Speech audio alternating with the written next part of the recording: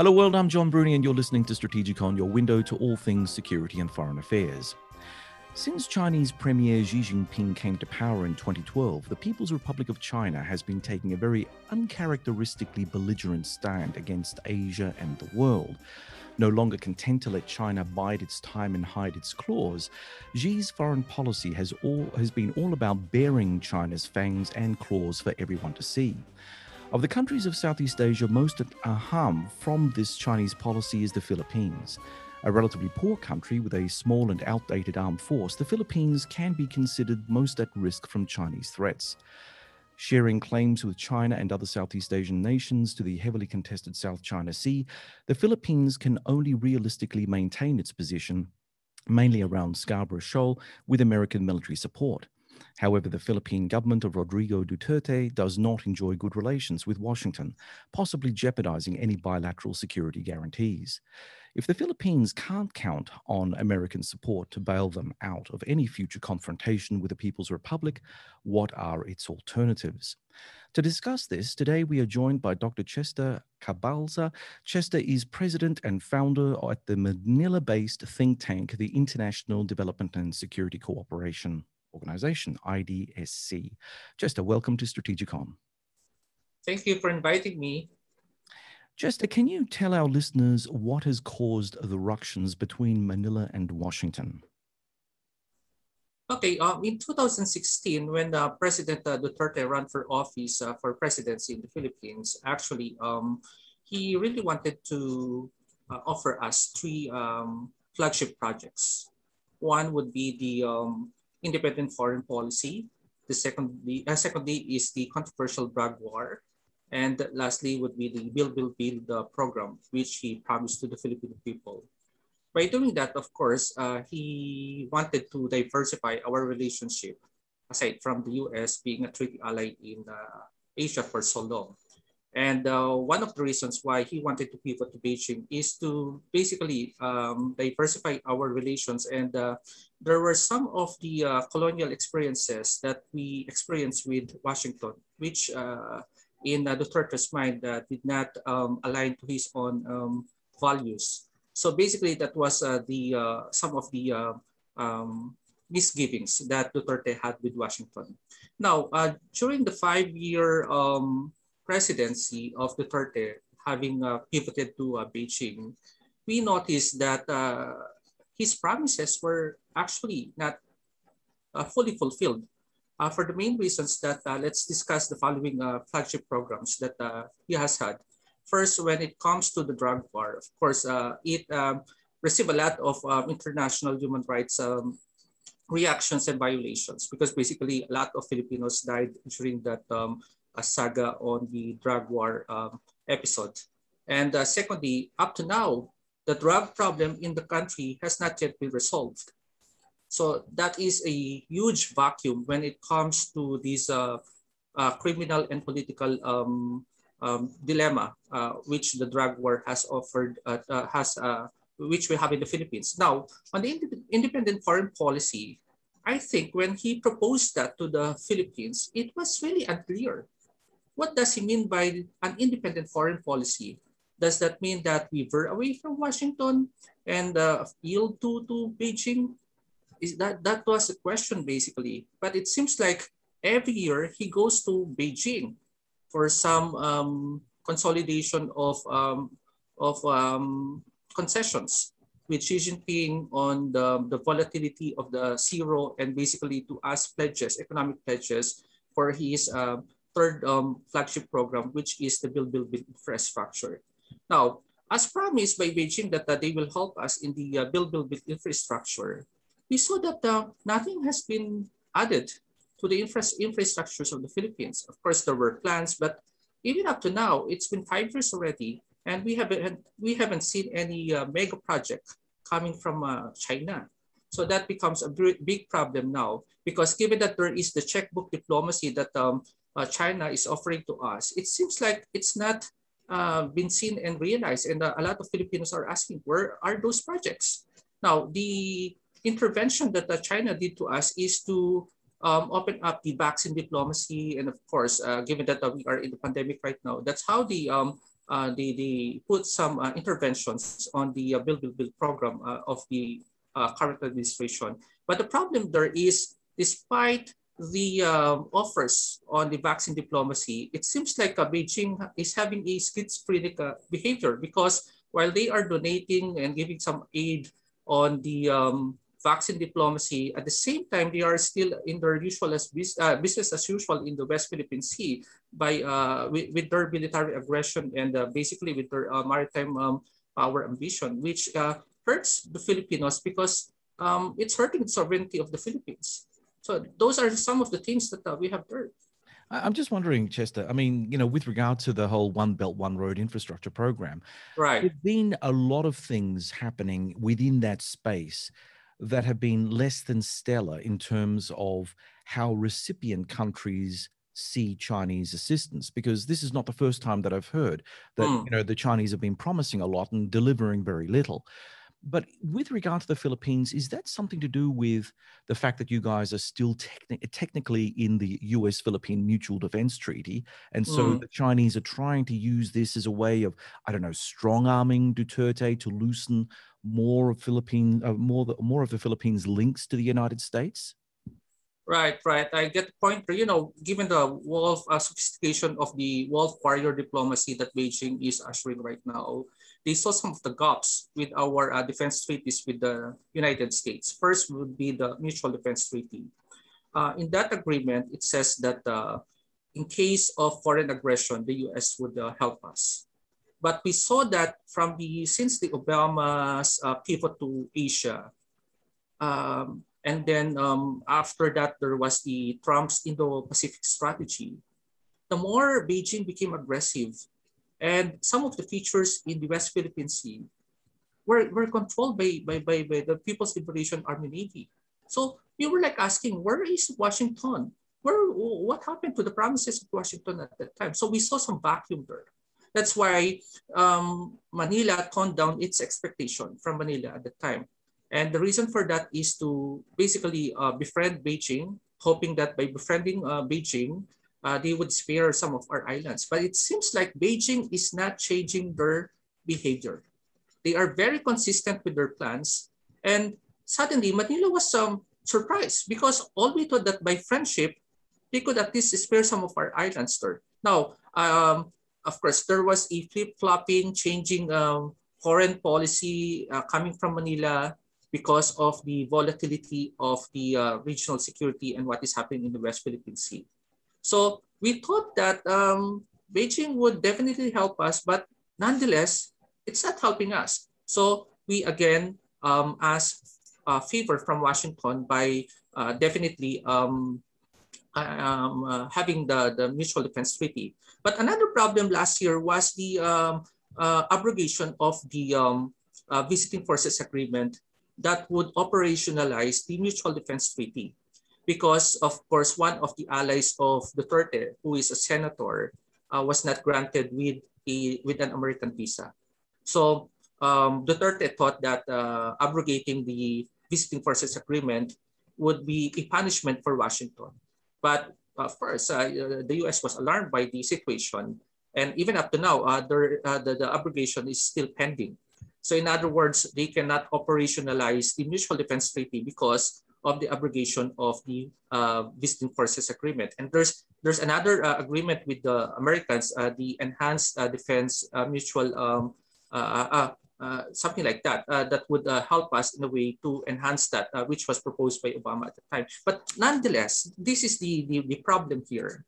Despite all the um, support and help coming from Washington, it seems like Duterte is snubbing the efforts of Washington. Mainly because uh, there was a concession that he made with Beijing, which up to now remains questionable to a lot of Filipinos.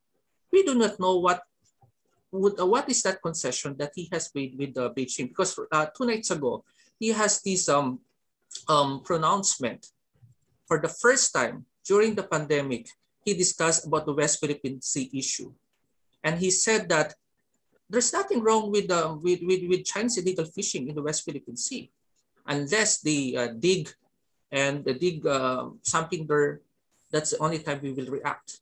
And it seems like that's a little bit problematic. We've been fighting a lot over the West Philippine Sea, and all of a sudden the commander in chief and the uh, and the chief architect of the Philippines uh, of on foreign policy in the Philippines is saying that.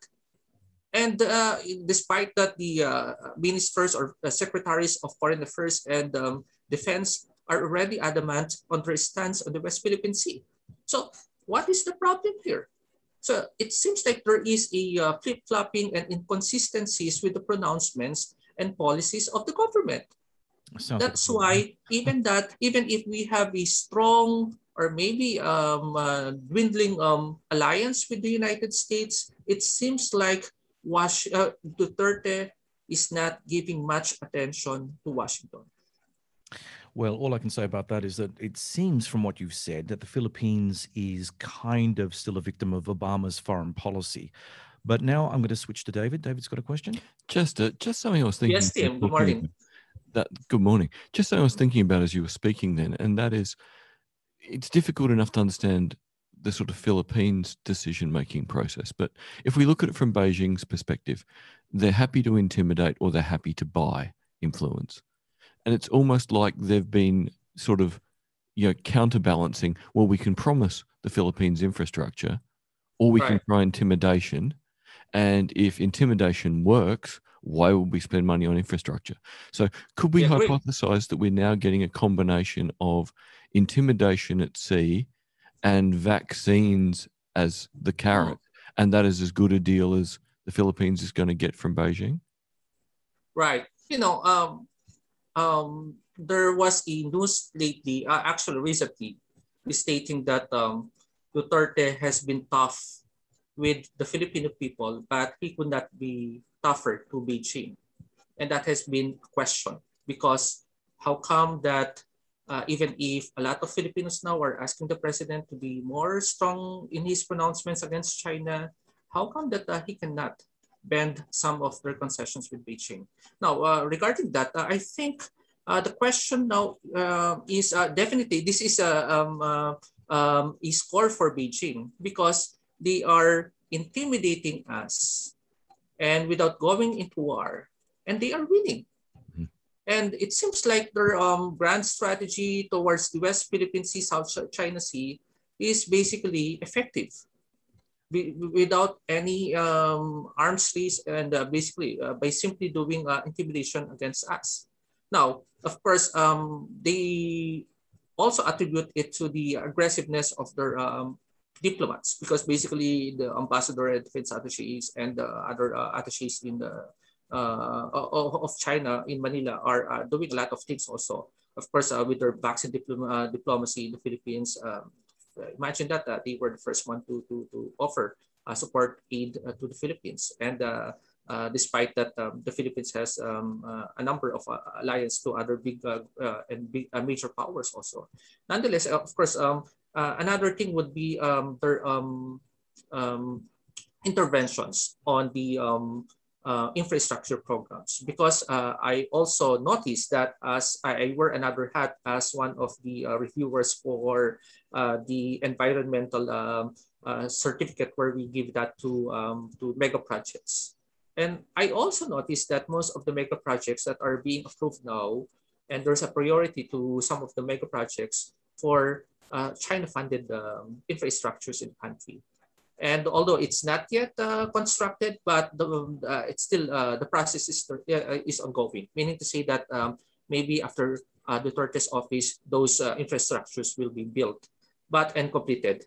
But um, you know, there's that, that that is a um, a confusion, a bafflement for us here in Manila because basically uh, how come that um, China is winning without doing anything and uh, by simply uh, offering a lot of uh, things to us by checkbook using checkbook checkbook diplomacy and also their vaccine diplomacy. So in other words, um, the, the the problem that I see here is the lack of foresight, strategic foresight, and um, implementation of strategies in, in the Philippines.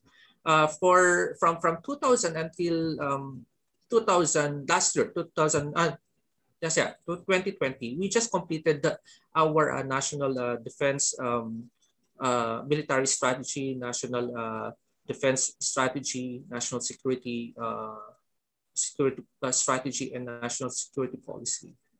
But there was no uh, overarching um, mechanism on how to um, to, to consolidate all of these strategies. Meaning to say that uh, we use it differently in different uh, situations. So it's not harmonized. And there, knowing a Filipino style and culture here, uh, sometimes uh, we tend to forget the uh, unified command because uh, of uh, silo in government and uh, stuff like that. And this becomes a problem because each one of the major services in the armed forces has, has their, have their own style, strategy. And also, secondly, we still don't have a strong naval and air force, air power. And if we look at the external defense of the Philippines, it's very weak. Because for the longest time, we just relied to the Americans. It's only recently that we decided and thought of building our own defense posture on our external defense. That's the reason why lately we've been acquiring uh, some uh, um, naval um, assets and uh, military hardware for us to meet at least the minimum defense uh, posture uh, for, for the country. But so far, in terms of the um, strength, we, we, we really, um, uh, we of course, definitely Beijing is more powerful than us. But, you know, uh, there were um, cases where numbers can be uh, outweighted by, uh, or, or strategies can be outweighted by numbers. We've seen that in uh, Philippine, uh, yeah, yeah. Yes, John. Chester, I was just wondering. I mean, the Philippines is an archipelagic state, and you you made mention about what you consider the vulnerabilities of the armed forces. Mm. But of course, you know, if you're looking at it from an external perspective, there's that, and then there's of course the ongoing internal security challenges that the Philippines right, right. faces. Right. So you've got the Muslim separatists in the southern island state of Mindanao. Mm. You've got the communist New People's Army, which is no longer mm. really communist; it's just an opportunistic mess. Um, and then you've got a bunch of clan-based private armies running running around in the back, uh, you know, in the in the uh, uh, back blocks of the Philippines, causing mischief wherever they can.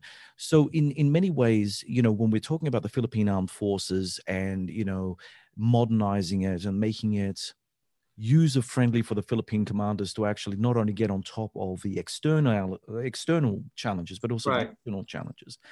How how much effort needs to be expended because it seems like it's going to be a very costly and very lengthy exercise. Yeah. One significant, yeah. it's a big cultural issue. Yeah. So, if you don't mind, just to speak to that too, as much as dollars affect all of this, we can see that the dollars flowed towards the Philippines early on in the war on terror, which allowed capacity for internal action to increase significantly.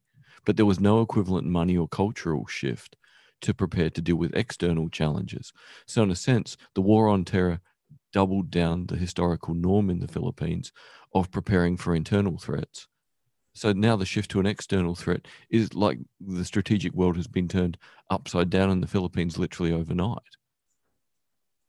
Yeah, that shows the complexity of the national security issue in the Philippines because basically, you know, you have a uh, duality of a situation or problem here you have internal uh, threat at the same time you have uh, external um, um, problem also uh, now um, all policymakers in the Philippines are not even um, well versed when it comes to national security. That comes a problem here. That's the reason why we have flip flopping of policy, and also um, the um, armed forces uh, should also delegate the internal security issue to the Philippine uh, to the Philippine uh, police because basically that, that the internal issue on uh, terrorism insurgency should be the problem of the police and no longer with the military.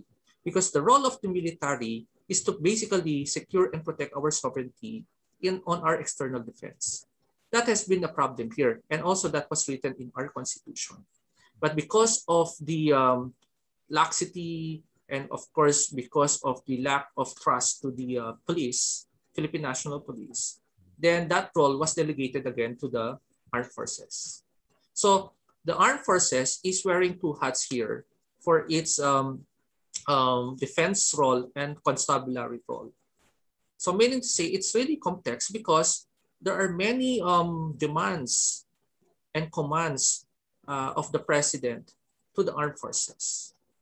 and you know uh, it's overheating everything. And also the situation on the the um, internal and the external is not properly managed because uh, because of the many policies and strategies that are not cohesive and uh, integrated and harmonized.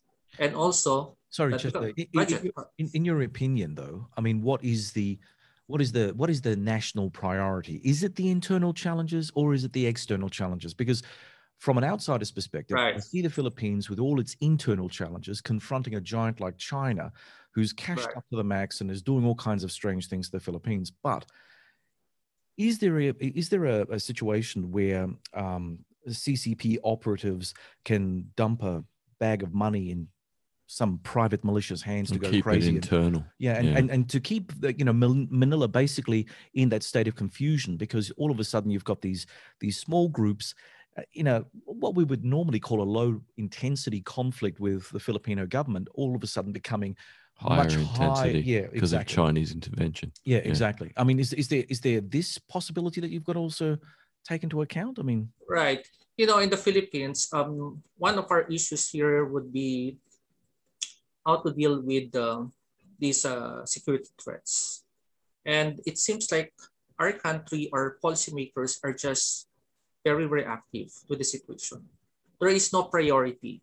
It depends on which um, threat um, would uh, impede the national security first. Meaning to say that uh, if there is a, uh, uh, a terrorist act, then we focus on that. If the Chinese uh, incursions uh, happens, then we focus on that. So meaning to say there is no there is no prioritization, although it sets an unequal footing also it's a very um, reactive uh, and limited on how we foresee it and uh, definitely on how we resolve the issue.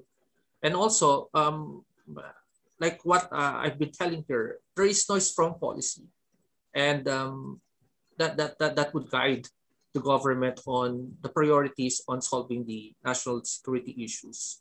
But I would like to suggest that, of course, given that we have already, uh, first on the external defense, we have already completed all the uh, different strategies and doctrines uh, that the um, armed forces and the uh, maritime um, uh, enforcement agencies should be using. Now, it's high time that we should also put a national territorial defense framework because that framework would help us on how to synthesize everything and what would be the strategies, the best strategy that, we, that, that would be used. I know for a sure, uh, for, for, for, I know for, for a fact that the Philippines has been uh, uh, excellent in uh, its uh, lawfare.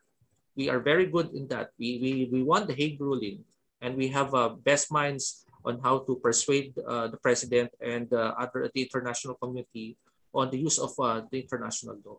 I think we, we've been doing that a lot.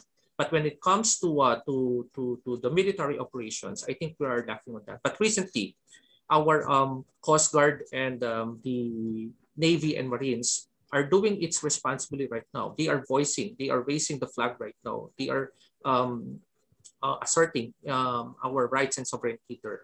We are rocking the boat so far because we learned that China is not changing anyway. And uh, there's an upcoming election next year. And that would also uh, change the, uh, the, the, the, the, the, the, ballots next year of uh, whether or not uh, Duterte's uh, promises and campaigns were successful. Secondly, on the internal defense, security threats, um, we still have the longest insurgency in Asia, or if not in the world. but it seems like the, the, the strategy on red tagging lately has been it has become very controversial here uh, has is not effective. One is because I keep on telling to the media about the armed forces uh, lack of intelligence gathering. They are not so good. It has to retrain them. They, they, the, the, the armed forces should be trained and of course um, integrate some of their um, um, counterinsurgency measures and the strategies there. Secondly, and also because uh, we, we, we dislike that because um, these are government funded uh, intelligence gathering and they are wasting the money of the Filipino people. So in other words, the problem there is their doctrine and strategy and they have to retrain their assets, uh, their, their, their agents basically, and uh, officers, because it's not really effective. Uh, on the um, counterterrorism, um, there, there's no effective uh, policy yet that I've seen so far. That's the reason why uh, we've been asking um, allies like, of course, um, and partners, strategic partners like the United States. We've seen that in Marawi. And of course, uh, Australia is helping us also uh, on counterterrorism and cybersecurity. So I think um, when it comes to this, it there are flaws and we need um, um, the, the whole of um, alliance uh, approach here when it comes to our internal and external um, uh, um, um, uh, security issues. But uh, I think uh, my, my, my, my suggestion and recommendation here is that we should build our own indigenous capability because there are ASEAN countries who were able to handle their, uh, their problems. Look at uh, Vietnam and Indonesia. Without their um, uh, without uh, support from major powers, although lately, of course, they, they've been communicating and, of course, extending the note verbale with the major powers. But because of their own indigenous uh, capability on um, how to counter big powers, especially uh, against their sovereignty, they were able to uh, modernize their armed forces using their own capability. And I think the Philippines should learn from that because we've been uh, relying so much with the major powers, particularly with the United States and lately with, uh, with China. You know, this confusing um, independent foreign policy is not helping us so far because there's none. There's no independent foreign policy, basically. Just, uh, just on that, uh, Tim would like to um, say something. Yep. I assume that it would be in Washington's interest um, to uh, counteract Beijing's influence in the Philippines. Would that be a correct assumption to make? Pretty much.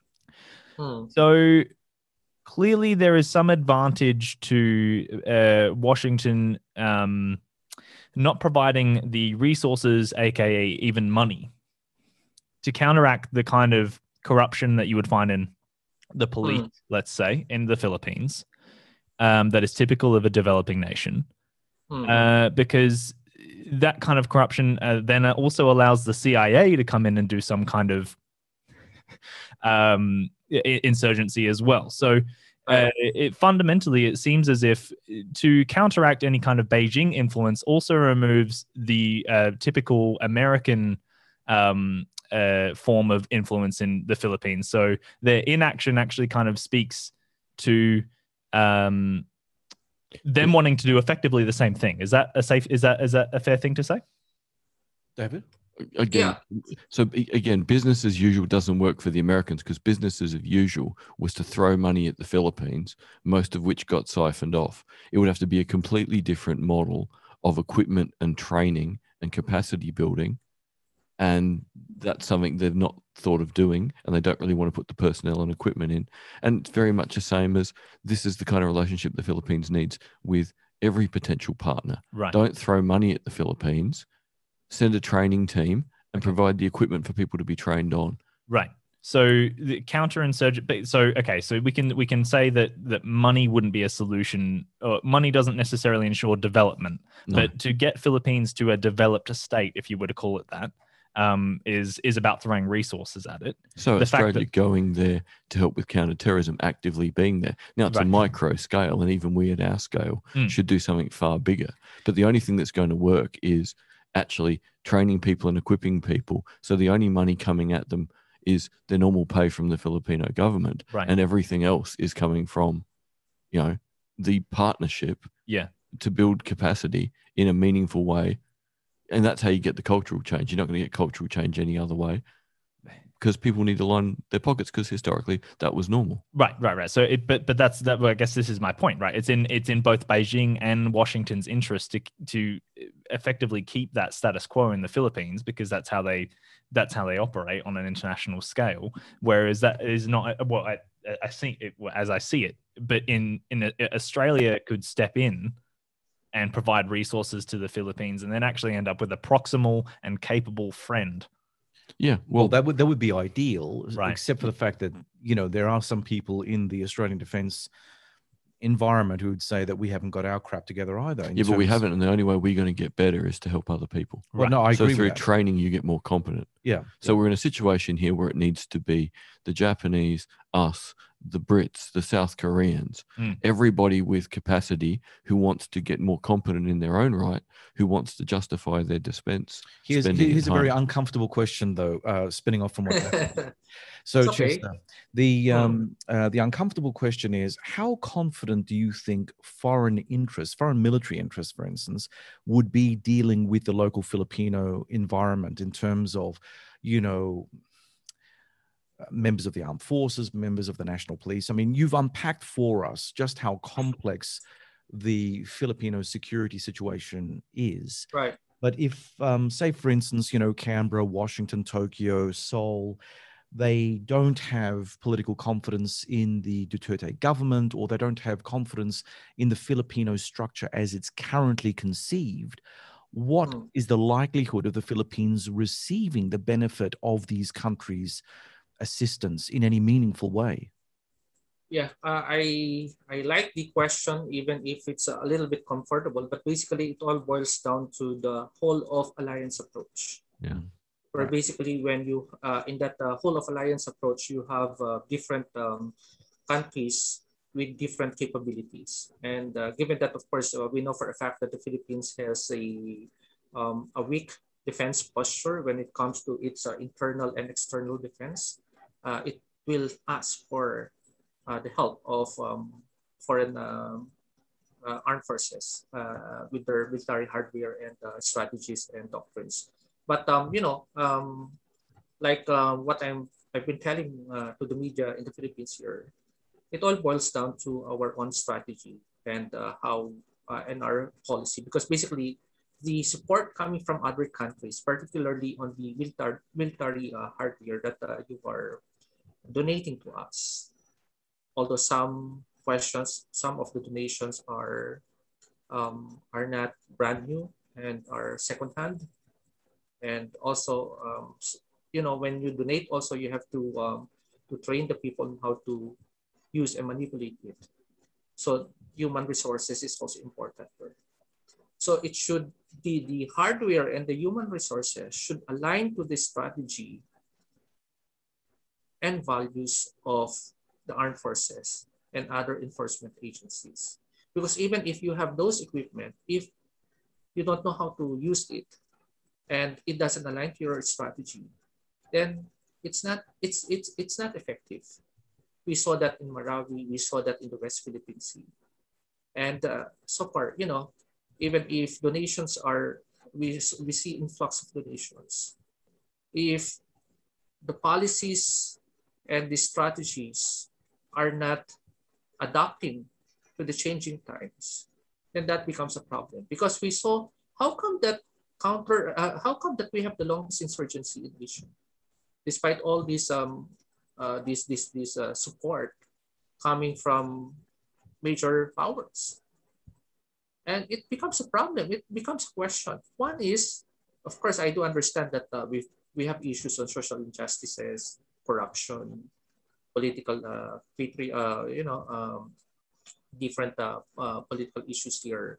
Uh, but you know it all boils down to basic services. If the government is responsive enough and would address issues of poverty social injustices definitely their uh, counterinsurgency would become uh, successful.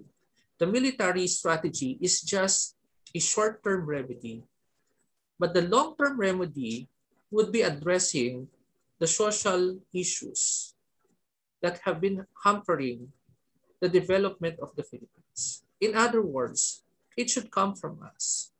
The development is the answer. Prosperity would not make people cling to terrorism and, uh, and insurgencies. And definitely, they would be supporting and helping the government if their tummy are not hungry. Can I can, So- I, uh, can, can I just uh, uh, intervene here? I'm I'm curious. Again, this is now we're starting to delve into the less comfortable aspects of Filipino security. But one question, and it's a hypothetical question, so you know, Yeah. feel free not to answer it because if it's sensitive. That's okay. But um, would things be easier in the Filipino kind of security environment were there a different political leader in Manila? Or a different elite. Let's Or- make it two part All right. because the leader is, Yeah. you know, the leader is someone who the the the outside Western world look at and goes, "Wow, how's that possible?" But you scratch a little bit deep and you go, "It makes perfect sense based on the historical elite in the Philippines." When the historical elite are a problem, you get strange leaders. Yeah. Chester. Right. Um, go ahead. Uh, yeah. yeah. You know, um, that's true because um, we thought that uh, having a strong leader would basically help us um, be uplifted uh, from all the uh, many issues that we have in the Philippines. But we saw that uh, lately, uh, we see, uh, of course, Duterte's um, regime uh, is at the twilight right now because there will be elections come 20, uh, June 2022. And it seems like some of the promises he had made for us are not um, are not yet fulfilled. And uh, going back to the kind of leadership that we have in the Philippines, it seems like uh, you know um, the reason why um, we have not yet arrived economically economically speaking and also uh, the kind of respect that uh, we should be gaining from the international community is that uh, there's a problem also in our political culture here uh, given that you know um, issues on um, the type of leaders that uh, we are voting are not um, are, are not uh, definitely uh, uh, helping us to advance some of the uh, um, expectations that uh, we have them. And secondly, um, there are there's a huge disparity between the rich and poor, and the middle class is very small. And when you have a small middle class, naturally, you would have a lot of deceptions coming from our elites and oligarchs to secure their own vested interests. So basically, you see uh, the complexity of the um, um, Filipino society here. And thirdly, I think um, right now, the in terms of our military, uh, the armed forces, they are still uh, staging their um, militarization uh, program. And uh, we are still at the second stage of that. And uh, the third stage will commence uh, in 2023 to 2028 to at least uh, minimum credible deterrence. But um, I hope that uh, the armed forces also would be apolitical and uh, sometimes because in the Philippines, they've been dancing with the wolf, with the president for their own survival also and vis-a-vis for the survival of the president. And we see that kind of uh, dependence coming from two uh, different institutions that would give us a perception that the institutions in the Philippines are not that strong because it's very personalistic. It depends on the, the personality and the uh, behavior and perception uh, of the leader. And that becomes a problem because the, the president, uh, the, the role of the president in the Philippines is very strong. He is the commander of uh, uh, commander in chief of the armed forces and also the chief architect of our uh, foreign affairs. And if those things are, uh, if, if his uh, policies and programs are not effective, basically, then it will give us a domino effect on how we would want to have stronger institutions in the Philippines.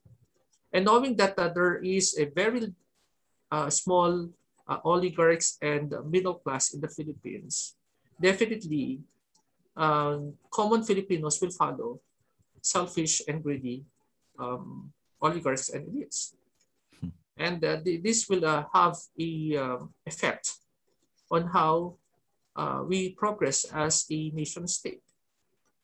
Chester, So tha- that's the complexity of everything here in the Philippines. There's a there's another interesting uh, angle that I just thought of. Um, uh, when I was doing my uh, my honors degree at Flinders University, my thesis was on the U.S. bases in the Philippines. Now, of course, um, the U.S. withdrew because Mount Pinatubo, but also there was this Filipino nationalism that really put a Mm. lot of pressure on the Americans. Well, Americans. and the New World Order. The Well, idea well- it was all going to be warm and fuzzy. That's true too. That's true too. So we had all of these things that sort of came up, and it basically made America's position in the Philippines pretty much untenable. But eh, you know, focusing for for the moment on the anti-American aspect, is there a sense that America doesn't really know what to do with the Philippines now that it lost? Right, I agree. I agree. Right, I agree with that.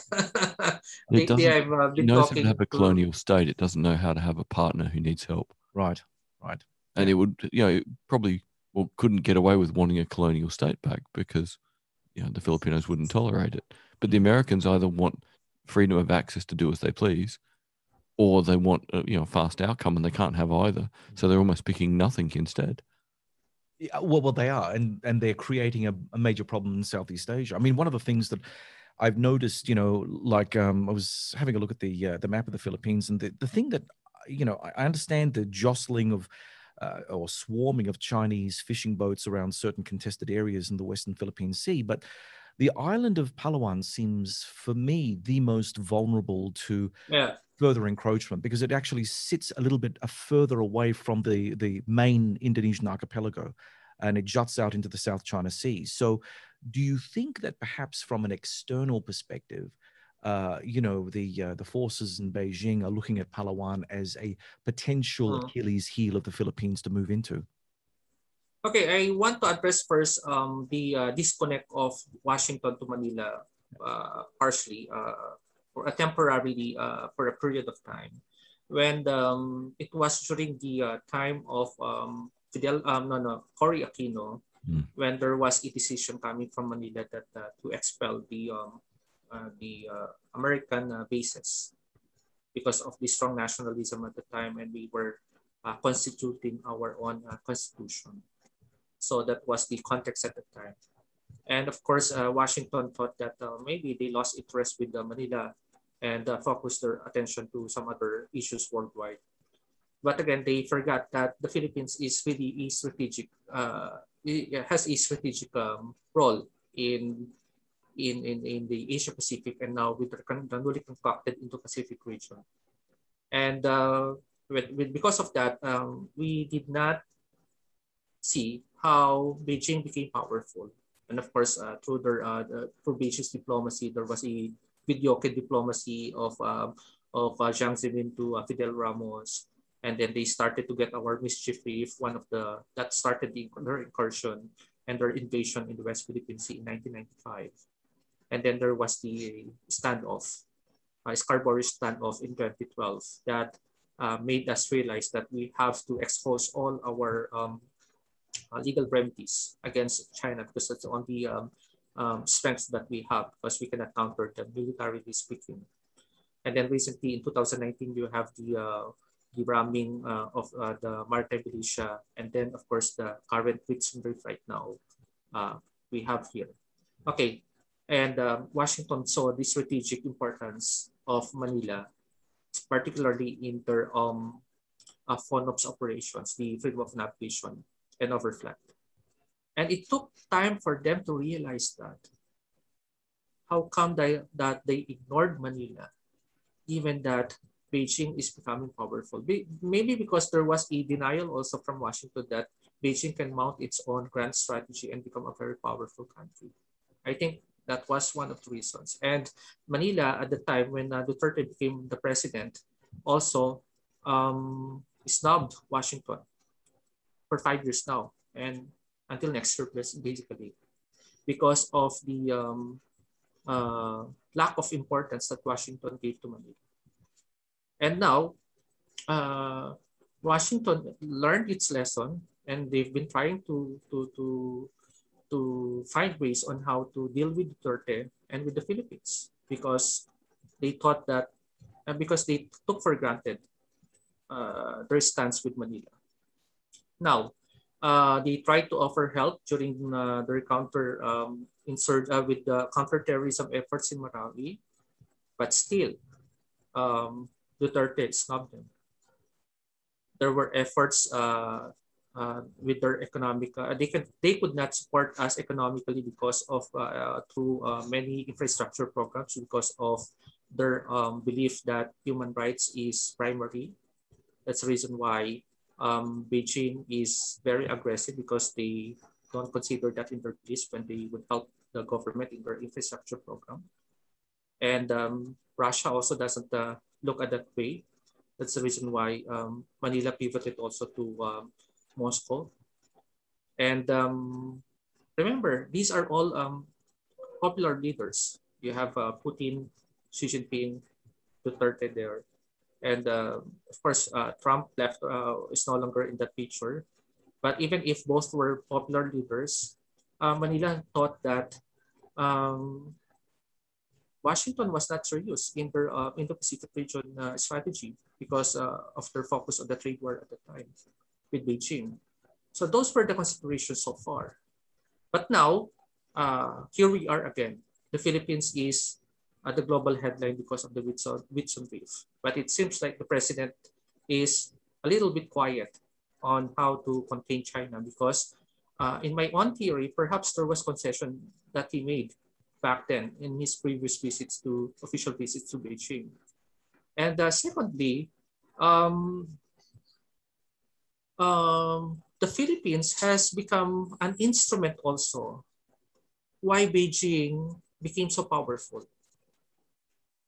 It allowed China to continue with its militarization. And um, also, um, Manila thought that uh, Washington's promise to us when it comes to mutual defense treaty and its other uh, defense treaties with us cannot be realized. And it's only now that Washington is doing its best again on how to um, to to align uh, with with uh, some of the visions of the government, right? Of visions of Manila right now. So you know, it's it's evolving so far on how we deal with these um, uh, policies uh, of uh, different powers, basically. And um, I believe also that it's going to be expensive for Washington to um, send some of their uh, warfighting um, um, aircrafts and also um, submarines and other uh, frigates and uh, naval. one thing, one thing. now, with regard to the Americans having lost Clark Airfield and Subic Bay, Subic Bay still exists as a port, and so and it's a vitally strategic deep water port. And Clark Airfield is still an airfield, right? Uh, can you repeat the, the question? Sorry, right. I didn't Okay, so Su- Subic Bay is still available yeah. as a deep water port, which is highly of great strategic value, right? Right, and, right. And Clark Airfield is still an airfield. Yeah, yeah. So, so you know, Americans, if, if the Filipino government were to say it's in our interest to, like, like for instance, here in Australia, we've got a, a rotational presence of Marines that uh, right, right, right, Darwin. Yeah. So it's not a it's not a permanent presence, but it's kind of like a semi-permanent presence. No, it's like Garrison Light. Yeah, Garrison Light. Yeah, exactly. So couldn't couldn't the Philippines also? I mean, if they were really, if they need Right, right. But this happened. No other alternative. If there's no other alternative, Chester, could they not try? yeah. you know, this this is what happened here. Clark Air Base and Subic Naval Base are turned into economic zones now. Right. So meaning to say that they are no longer that strategic that it used to be. But I've read from uh, from uh, the uh, from the plans of the armed forces that uh, they're trying to do some strategic uh, basing plans, meaning to say that they want to to reassign some of the bases and uh, focus on some other bases because of its strategic importance. Right. One would be Palawan. Yeah. It has to be protected. Secondly, Sulu in Mindanao. It has to be uh, uh, protected right. also. Mm-hmm. And also the one in Batanes up uh, near near Taiwan. So Subic and Clark are no longer that uh, strategic because of its uh, transformation as an eco hub.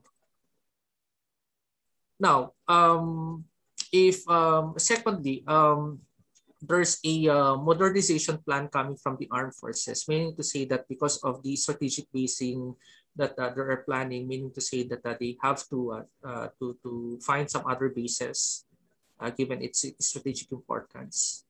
And also uh, there were um, um, plans coming from the armed forces to change the commands also because of the extent of the uh, China aggression in the Philippines and also because of the uh, terrorist um, um, threat also in the country. So the traditional bases are no longer that effective and strategic. That's why the Philippines has to find some other alternatives. Just just on that check, uh, Chester, Hmm. um, I've got I've got a problem with the idea that Subic in particular Yeah, isn't particularly a port, an a, airfield, a- a- fine, a deep but a, a, deep water port, a natural deep water harbor is is highly contested strategic. It's a highly contested strategic prize anywhere, and I, I would imagine that even if it's if even if it's now a commercial port, to park an Hmm. aircraft carrier off that commercial port must still have happen. power. Yeah, and have Right, power, right. absolutely. Um, I mean, the Philippine Navy, of course, doesn't have you know a lot of Right. modern deep deep water ocean going vessels. So I can understand from a local perspective, it may not have uh, strategic value, but for visiting American warships, obviously where they would pull in, uh, you know, Subic would be an obvious location for that, right? Uh, yes, um, that's the reason why um, the um, armed forces has to reassess again uh, the uh, bases. Because basically uh, because of the changing uh, uh, security right now uh, posed by, uh, Beij- uh, by by by China, and uh, also um, um, another thing would be the uh, the um, technology that that the armed forces should also be acquiring of. One of course uh, right now we still have a, uh cyber uh, maritime, a cyber security maritime uh, technologies that would help us uh, to counter uh, both uh, the Chinese incursion and the, the threats coming from maritime cybersecurity. I haven't seen one, and I was one. I was proposing that to our Coast Guard and to the Philippine Navy and Marines, and um, uh, I think, um, given the uh, weak defense posture of the Philippines um, and uh, and the undergoing um, uh, AFP modernization program, um, they, they see uh, they, those are just in the blue, blueprint right now. Um, there are plans, but of course, uh, when you plan, you need uh, some uh, uh, sophisticated te- technology, human resources, and money, basically. And of course, the political will coming from the government. Because even if you plan, if it is not approved by the Politburo, then that becomes also a problem there. And also, it should align to the um, to the uh, policy and uh, strategy of the of the of the government. But it seems like right now we have, uh, like I said, we have flip flopping uh, policies and strategies. That's the reason why, even if you have bright ideas, clever ideas there, it becomes uh, futile after all because no one is supporting it. Yeah. So we see a lot of mismatches. Okay, uh, Chester, I'll just uh, go around the table and uh, find out uh, what last questions or statements anyone may have. Tim says he's okay. David? Last question, Chester. In all Yeah. this situation, okay, economic development to grow the middle class, to make sure that there are different people who can stand for parliament in 10, 15 years. So you move away for a, a historical elite or, you know, reactionary mini oligarchs to people who actually have the interest of the middle class in the country in mind. Where are the best economic opportunities to kickstart Okay, right, right. That's interesting. Yeah. You know, Mindanao is the promised land in the Philippines. And a lot of Filipinos, particularly from Mindanao, were so happy when Duterte became the president because he's the first president coming from Mindanao.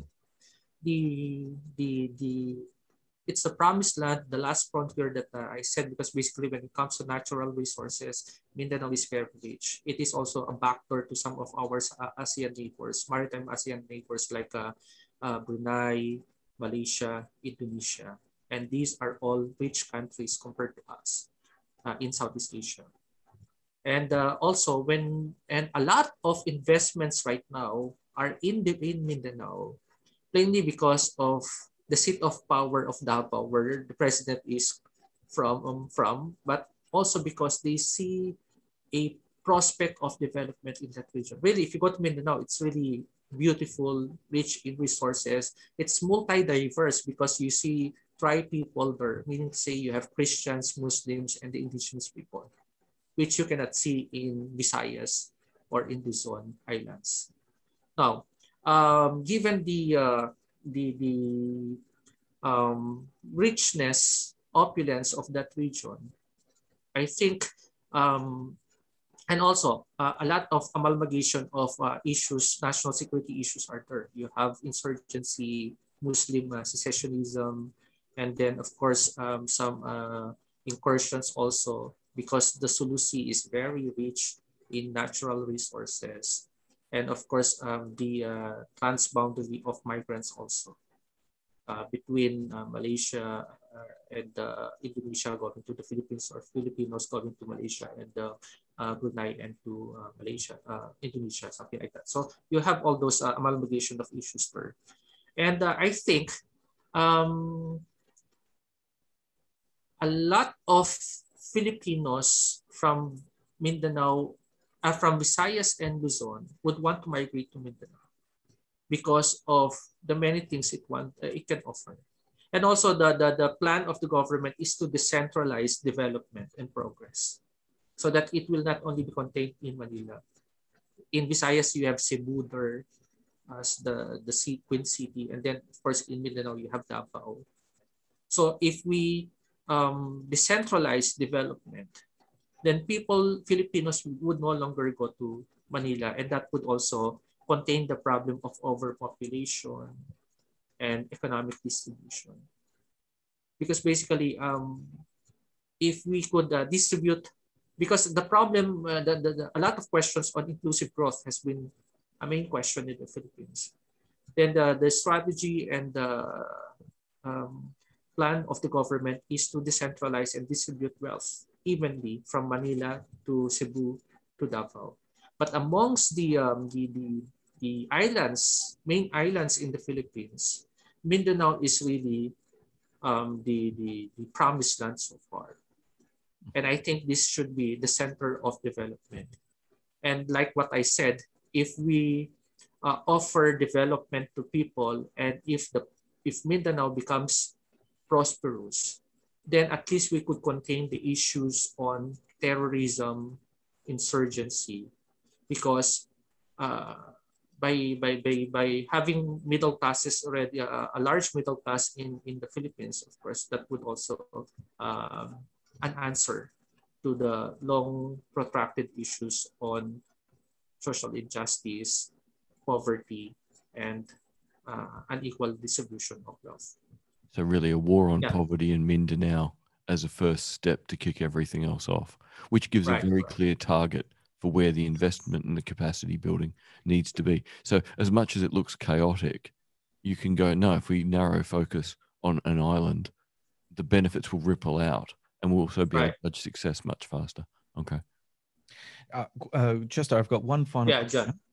Um, now, I know um, strategic forecasting is a is a fraught business. Yeah, yeah. But what is your take on Duterte's chances of winning in 2022? Okay, yeah. Okay. Um there are two plans basically, although it's not yet pronounced because that is the tactic now, not to divulge information yet. Because if you do that, people will start scanning your um, um, your bad records and your skeleton in your closet. Uh, but uh, basically, um, uh, the plan that uh, the rumors uh, are um, one, uh, Sara is Sarah, the daughter of Duterte, is running for president, and she has huge chances because based from the surveys, every survey that comes out in the Philippines, she tops the survey. Okay. And there are other female candidates uh, who are vying for presidency.